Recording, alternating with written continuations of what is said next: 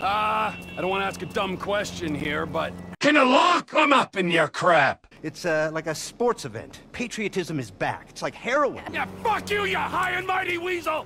And you, don't talk down them to these fucking idiots! Hey! Leave Jerome. alone! Oh! Oh, you and Jerome. together? Oh, now that makes fucking sense! Why don't you take a moment while you're sitting on that big fat pile of cash to chill the fuck out and realize what's done is done? Whatever! You say. That's his fault. fucking fuck, fuck you, man! Hey, hey, hey, hey!